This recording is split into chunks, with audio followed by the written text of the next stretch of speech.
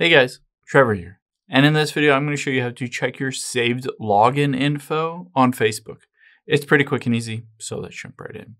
Now let's open up the Facebook app here or go to facebook.com just the same. Now let's tap on menu at the bottom right and the gear icon at the top right. On here, we're going to hit the see more in account center here. And I'm just going to scroll down a bit until I get to password and security and tap on that.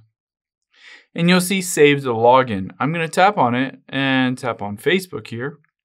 Now, keep in mind, you might need to re-sign into your account, but you can see basically any ones that have saved the passcode.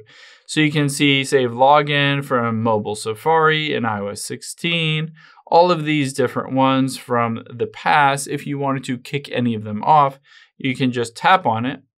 And just like that, it has been removed. That specific device, that specific browser, whatever it may be, has been removed from having a saved login to my Facebook account.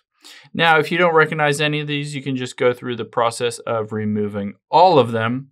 And then everyone will have to go through the entire process of signing back in using the two-factor authentication, which I recommend turning on.